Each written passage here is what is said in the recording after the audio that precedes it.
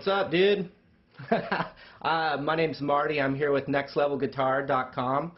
Totally stoked to be here. Uh, it's uh, it's a privilege, and I wanted to talk about um, just some some funk ideas, some funk concepts. Um, basically, what I was doing was I was uh, combining parts of the blues scale, uh, and we're in the key of E. Uh, so I was combining the E minor pentatonic or the E minor blues scale with um, the E 7 sharp 9 chord. Uh, a lot of uh, guitar players also call this the Hendrix chord. I usually just say, yo, it's the E Hendrix chord. Nice. you know what I'm saying? But uh, but anyway, if you know if we're gonna get all you know technical, like uh, we would call it an E7 sharp 9. The cool thing about the E7 sharp 9 is you got the low E string in there. You know, so that's always really cool to just have that low note in there. So um, basically what I'm doing is I am playing the chord, and we'll talk about the, the uh, rhythmic ideas and the right hand concepts. But um, just the basic overview here is I'm taking this E7 sharp 9, and I'm funking it up, and then I'm also combining a really cool little blues box right here. Now, if you wanted to know exactly what I was doing, I'm using the E blues scale, or the E minor pentatonic with the blues note added. And the root is actually right here on the 7th fret on the A string. So here's just a really cool little run. I'll show it to you. We can start uh, right here on the 5th fret. I use my first finger, and I'm going to do this little blues run right here. Just like that, starting on the 5th fret, 6, 7. And then the 5th fret again on the A string, first finger, and then a whole step up. And that's the root. Okay? Right there. So here's what we have so far. Okay, and then it keeps going. Same idea as on the A string, on the D string. Okay? But then we also have the blues note right there.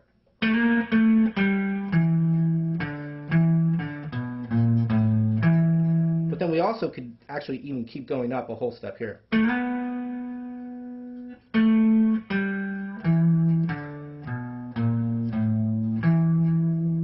Okay, so if you have a few blues licks in this little box, uh, here's one. Um,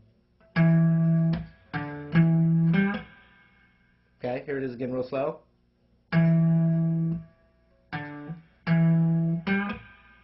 What I can do is every time I hit this root, I can actually play the Hendrix chord instead.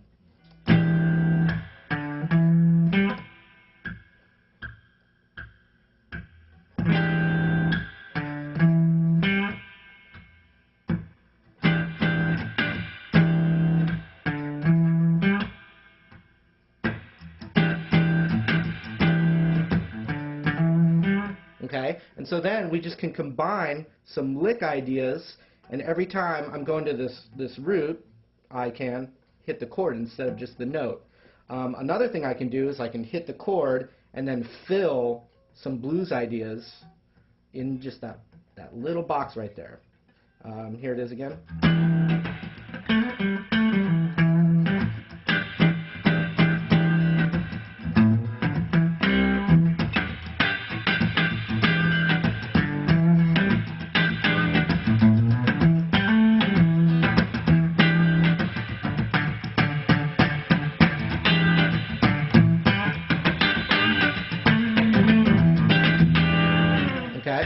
To talk about uh, you know what's with funk. You know, uh, you you go for a real staccato sound.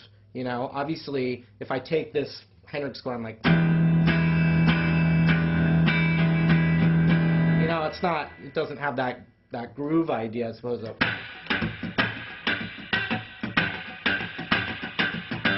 course, your head has to kind of funk it out a little bit, but um, but the idea is you want really short attacks, um, and that term would be staccato. So um, there's a few ways to get it. One is with the chord, the chord hand. It's a lot of letting go of the chord, like. Okay, and this kind of happens in reggae too, but if we take our right hand and we do a 1 E and a 2 E and a 3 E and a 4 E and a, like this, and I'm taking the chord and I'm, if I press down, I go. It's not very, you know, not as funky sounding as opposed if I just relax my left hand here. Exact same thing, but I'm not pressing down. I just press down.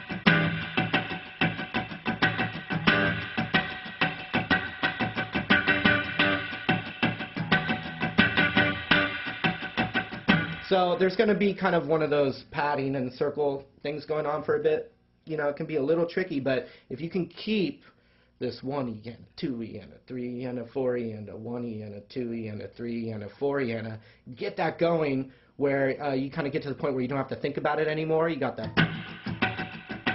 Yeah, eat a sandwich, whatever. You can get that going.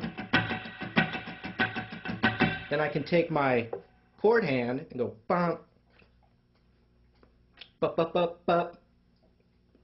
Bump. Squeeze it. Bup, bup, bup, bump. You can kind of feel the, the strings vibrating under your fingers a little bit to get that staccato sound. So I was going um, 1 E and a 2 E and a 3 E and a 4 E and a. Squeeze, squeeze. Squeeze.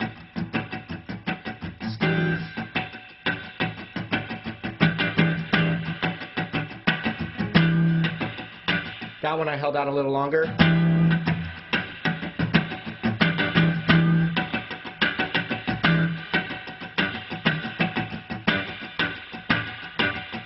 That time was going uh, one, two, three, four, uh, uh, uh, uh, uh, uh.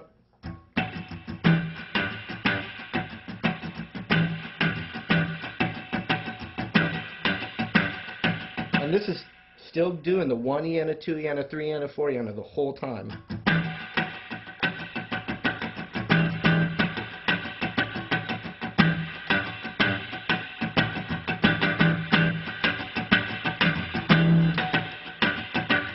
So, after you get that basic concept down with the 1 E and a 2 E and a and the squeezing and relaxing with the hand, then we just want to just fill it up with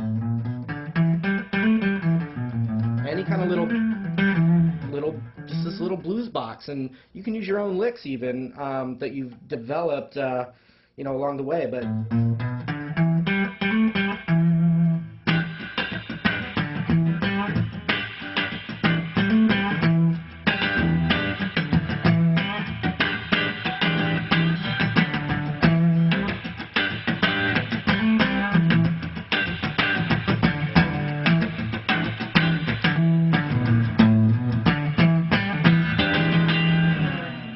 Once again, this was Marty with NextLevelGuitar.com. Uh, come on by our site. We got uh, a lot more to check out. We've got funk, blues, rock, everything you need for your guitar necessities. Um, there's a lot to check out, and uh, yeah, it's been a pleasure to be here and show you guys some of the stuff that I like to do. So thanks a lot.